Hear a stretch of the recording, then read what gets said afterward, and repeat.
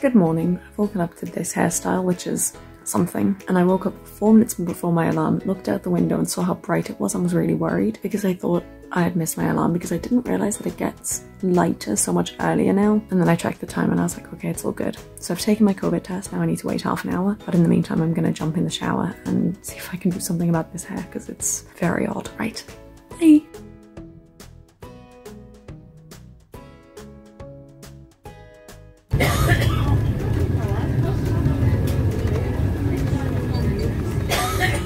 I have just got a message from my housemate who I was traveling with that their, well, they think that their lateral flow has come back positive. So naturally, I am now absolutely terrified.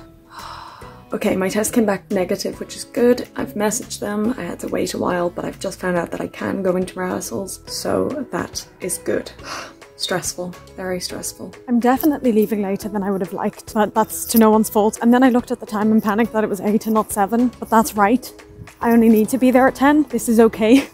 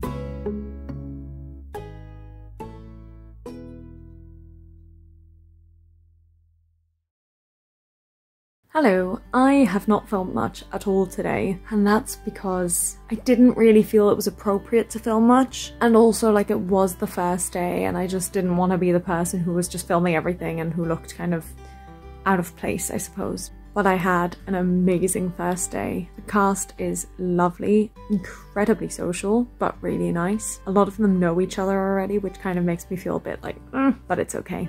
I'll get to know them soon enough. The staff are lovely. Today we mostly worked with one of the MDs and she was just phenomenal. I have so much respect for her. It was just, it was just such a good day. And I'm really, really looking forward to tomorrow and the rest of the next however many weeks and then being on the resort. Ah, oh, it's just wonderful. I am praying that my COVID test tomorrow is negative. I'm really, really nervous now. And I hate the fact that the rules have changed today. Boris Johnson announced that they were just going to scrap all COVID rules whatsoever, which makes me very nervous. But hopefully it's all going to be okay. Anyway, I'm going to go to bed now. I will probably film a little bit tomorrow, but not too much. As the weeks go on and as the days go on, I'll, I'll film more and more. But that's it for me for today, and I will see you who knows when, probably tomorrow. Bye!